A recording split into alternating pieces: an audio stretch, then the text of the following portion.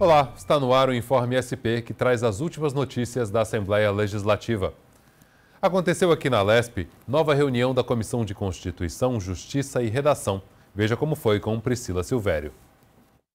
Na pauta da sétima reunião ordinária da Comissão de Constituição, Justiça e Redação, foram avaliados 172 itens. Entre os projetos de lei aprovados estão o de autoria conjunta entre os deputados Agente Federal Danilo Balas e Altair Moraes, que dispõem sobre a reestruturação da carreira de policiais militares.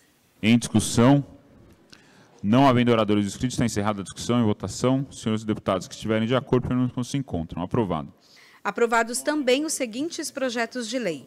De autoria da deputada Andréia Werner, que obriga a instalação de sanitários para uso de pessoas ostomizadas em estabelecimentos públicos e privados do Estado.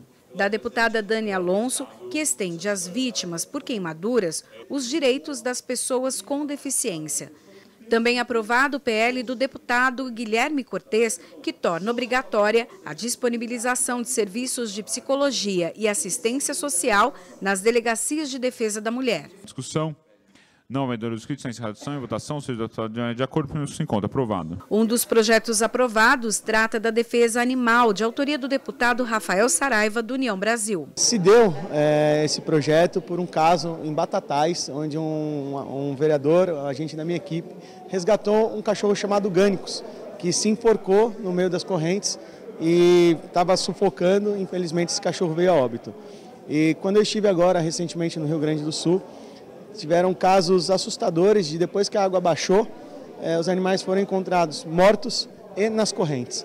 Então a gente tem que dar sempre a liberdade do animal, eh, isso deixa o animal mais estressado. Então é uma cultura lá de trás, desde quando eh, houve a domesticação dos animais, o homem aprendeu a amarrá-lo, a acorrentá-lo. Então acho que a sociedade evoluiu, e a legislação também precisa evoluir acerca desse tema. Aprovado o projeto de lei de autoria do deputado Lucas Bove, do PL, que veda a reprodução de músicas e vídeos que contenham qualquer palavra, termo ou expressão de natureza pornográfica ou sexual em estabelecimentos de ensino público e privados do Estado. A gente sabe que existe o Estatuto da Criança e do Adolescente, que existem leis que, que proíbem já esse tipo de prática de uma certa forma, mas como muito bem colocou o deputado Altair aqui, é, não é porque você tem uma portaria com segurança que você não tem uma tranca na porta da sua casa. Quanto mais barreiras a gente puder colocar é, na defesa das nossas crianças, melhor. Então é mais um avanço aí onde a gente vê uma sociedade onde cada vez mais meninas é, é perdem a virgindade mais cedo. O presidente da Comissão de Constituição, Justiça e Redação é o deputado Tiago Auríquio, do PL. A qualquer momento eu volto com as últimas notícias do Parlamento Paulista.